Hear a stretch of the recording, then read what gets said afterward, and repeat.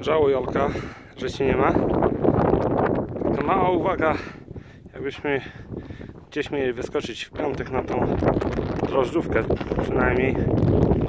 Ja na swoim miejscu wziąłem czapkę, bo czasami człowiek zjedzie z autostrady nie tym zjazdem i trochę wieje na spacerze.